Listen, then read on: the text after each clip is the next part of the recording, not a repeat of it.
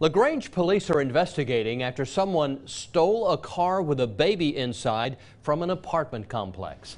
The car was taken from in front of the baby's grandmother's house on Juniper Street. It was recovered about four miles away on Boulevard Street. A mother told police someone jumped into her 2019 Mitsubishi Outlander, took off with her young daughter inside the car. A family friend says Shakara Johnson was picking up her son from her grandmother's house. It was supposed to be a quick exchange, but that all changed when she suddenly noticed her car speeding away.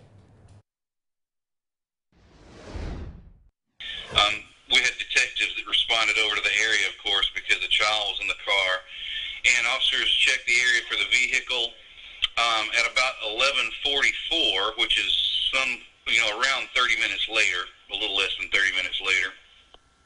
Um, 911 received a call from a citizen at 200 block of Boulevard Street who said they had located an unattended child in an abandoned vehicle behind their house, which Officers confirmed the abandoned car did belong to Johnson. She was reunited with her one-year-old daughter who was unharmed. A dead